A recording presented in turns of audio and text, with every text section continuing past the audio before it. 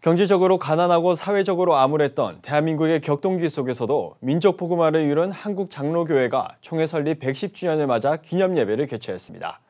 장로교회는 지난 역사를 기념하고 영적 각성과 부흥도에게 발판 삼아 다음 100년을 대비하자고 다짐했습니다. 정성관 기자의 보도입니다.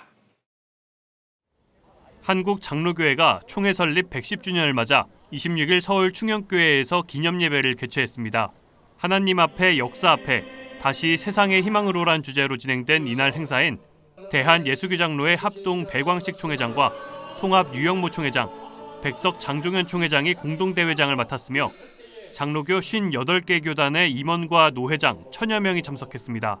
기념예배에 말씀을 전한 예장합동 배광식 목사는 믿음의 유산을 지켜온 장로교회가 앞으로 100년의 사명을 꿈꾸는 교회가 되길 바란다고 전했습니다. 오늘의 여러 가지의 충돌로 지나치게 분열되어 장로 교회의 신학적 정체성과 역사적 정통성이 희석되어 가는 현실을 직시하며 다음 100년을 새로운 영적 각성과 부흥과 도약의 발판을 삼을 수 있는 대회사를 전한 예장백석 장종현 총회장은 분열과 갈등 속 순수한 신앙으로 돌아가야 한다고 강조했습니다.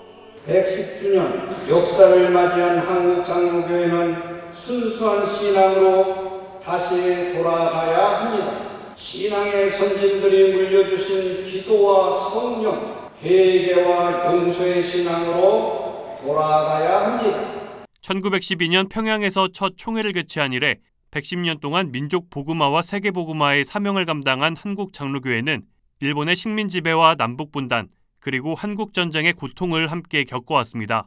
기독교 대한 하나님의 성회 이영훈 목사는 자신의 어린 시절 신앙의 뿌리는 장로교회 신앙이었다며 축사를 통해 감사의 마음을 전하기도 했습니다.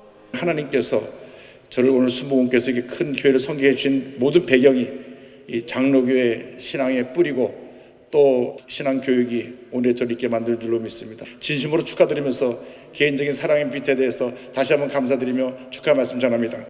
장로교회는 이날 기념 예배를 통해 교파의 분열과 부끄러움을 딛고 하나의 교회로 서기 위해 노력하겠다고 다짐했습니다.